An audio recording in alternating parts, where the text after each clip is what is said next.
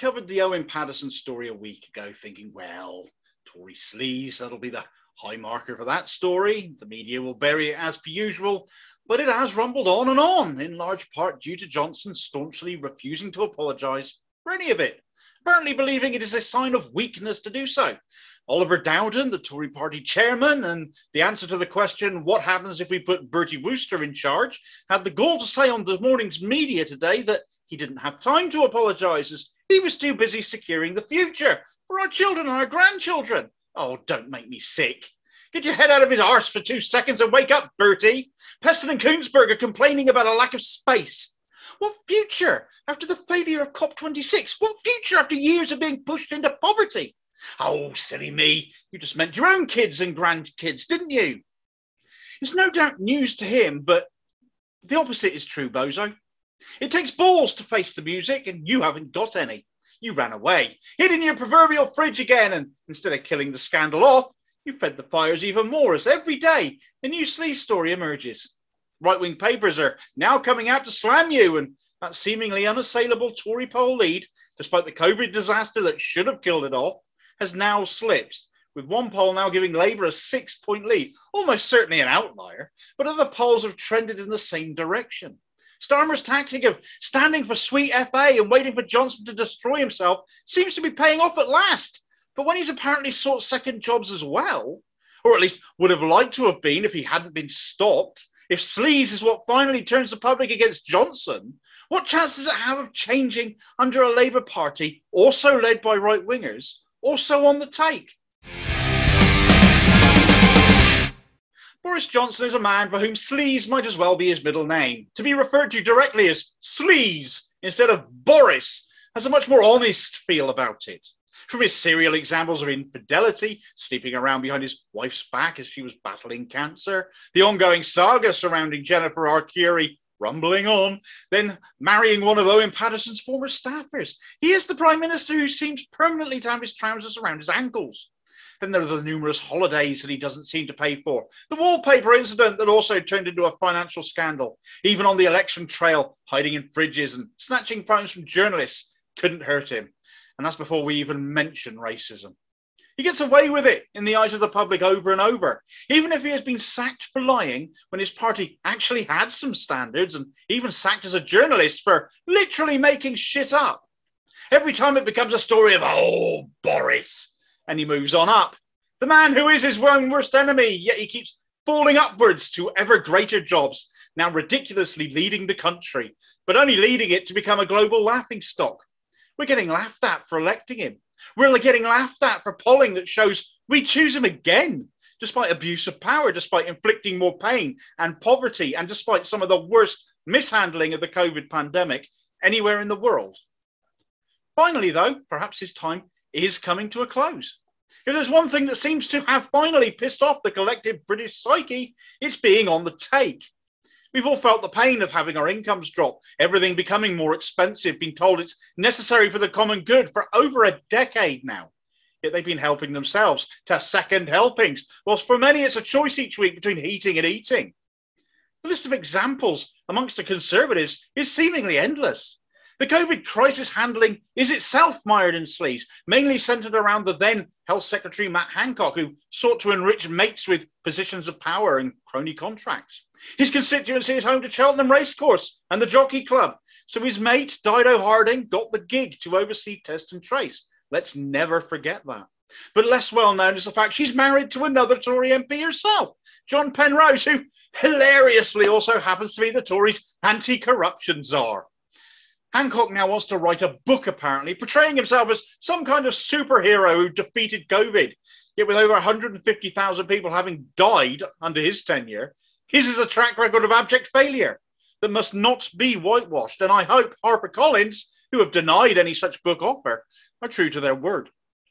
Then there's Owen Paterson, of course, who sparked off this examination of second jobs and brought into question if MPs are really working for us or wealthy lobbyists. Paterson was found to be favouring the latter, but thought he could just deny it and his Tory mates would see him right.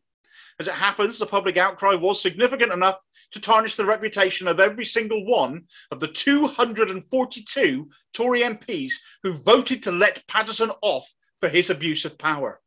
They've now held their hands up, saying sorry that it was an error. But without that outcry, it wouldn't have happened. Paterson would be home and dry instead of finding himself out in the cold. Sadly, there are many more examples. Grant Shapps, the transport minister, who happens to have a pilot's license, has created a scheme where private pilots can charge the taxpayer for half of their equipment and has spent millions more publishing public cash lobbying against building on runways, particularly the one he happens to use for his own aircraft. Minister for Transport, Minister for Private Jets would be more like it. Jonathan Djanogly, you might not have heard of the chap, but he's a Conservative MP and chair of a venture capitalist trust where he gets £30,000 a year for just 32 hours work. Damian Green, Mr. Porn on the Laptop, gets £40,000 a year advising a private rail and bus operator, so no votes for renationalisation there. Chris Grayling, old failing Grayling, remember him? He rakes in more than £100,000 a year from Hutchison Ports Europe, which is itself hilarious when you remember he is the man who awarded ferry contracts to a company that didn't have any. Jacob Rees-Mogg, the haunted pencil and Minister for Dickensian Attitudes, failed to declare £6 million he'd lent himself in director loans from his Cayman Island-based company as part of a tax dodge, because taxes are for the likes of us, apparently, and not for arrogant toffs like him. Nadhim Zahawi, the education minister, took 1.3 million pounds from oil company Gulf Keystone. And you wonder why COP26 was such a failure with ministers in the pockets of the fossil fuel industry. Natalie Elphicke, who basically inherited her convicted sex offender husband Charlie Elphicke's Tory seat after he got sent down, then sold her story to Murdoch's scumrag for £25,000 and rakes in a further £36,000 a year advising a watchdog for new build housing. This is the same person who told Marcus Rashford to stick to the day job when he campaigned to feed kids she'd rather have seen go hungry. The register of interests really should be a place we all spend a bit more time, where we should all start looking into what our MPs are up to. 16 MPs have put their housing costs on expenses whilst renting out property they themselves own a total of 1.3 million pounds between them. Amongst them, probably the most infamous second jobber going right now, Geoffrey Cox, the walking foghorn who could be heard from as far away as the Caribbean, where he was working for a law firm whilst Parliament was sitting, voting remotely instead of being where he should have been in Parliament or in his constituency, representing the people who elected him. No wonder missing posters have been popping up across Torridge and West Devon asking if anyone has seen him. He's raked in roughly a million pounds on the side. But when he and others like him are pulling in more cash than their parliamentary wage of nearly £82,000, it's a generous wage. The job they are elected to do is neither full time nor even their first priority. The Tories aren't alone in this, though. And that's the most troubling aspect of all of this, because if everyone is at it, nobody will stand up to fix it. Corbyn pledged to do so whilst he was still Labour leader. Just one more reason to bring him down if you look at some of the shits who stabbed him in the back. Let's start with Starmer, working for Mishcon de before he entered Parliament and as a backbencher, offering legal advice. He had to give it up as a frontbencher as per Corbyn's instruction when he became Shadow Brexit Secretary, but he still tried to get his way and worked for them anyway, requesting Corbyn reconsider, try and convince him to change his mind, but to no avail. And rightly so. We don't elect people to represent us some of the time. We elect them to represent us all of the time. And if £82,000 a year isn't enough for you, fuck off and let someone less greedy take over. But he's not alone. Geraint Davies and Clive Betts are two of those 16 landlord MPs. They weren't all Tories. David Lammy presents a radio show and charges for regular public service speaking appearances. Margaret Hodge, we know, has lucrative business interests, but still, she does take £20,000 a year on top of all of that as chair of Royal Holloway's College Council, earned for just three hours' work a week. The Lib Dems are no better either. Vera Hobhouse is another landlord. Ed Davies, who leads what's left of them, rakes in £78,000 a year in consultancy fees, which he claims goes to his disabled child. Can I have £78,000 too for mine? I'll call it a consultancy as well, shall I? In how to teach MPs not to be such inward looking, advantage taking, money grubbing, self serving, greed driven bastards. An important additional point here, though, is that many of these MPs have companies of their own or have directorships in, and any business interests there won't appear in the public register of interest. People like Jacob Rees-Mogg, like Nadhim Zahawi, like Margaret Hodge's business interests, as I mentioned a moment ago. They can have additional ventures providing additional income because such dealings might be in a company name. They wouldn't appear in an MP's public register of interest, yet this still can and does influence how they choose to vote. This is a massive loophole in declaring vested interests and absolutely has to be closed. Now, when I did my last bid on Starmer and Mishcon de when I went into that in detail, I came in for some criticism there because the scale of corruption is different. The people bringing this up or thinking of it, I'll say for one, that isn't the point. If it's morally and ethically wrong, the scale shouldn't matter. And for two, the Tories are in government and therefore the target of a great deal more lobbying, a great deal more temptation, and they're taking it.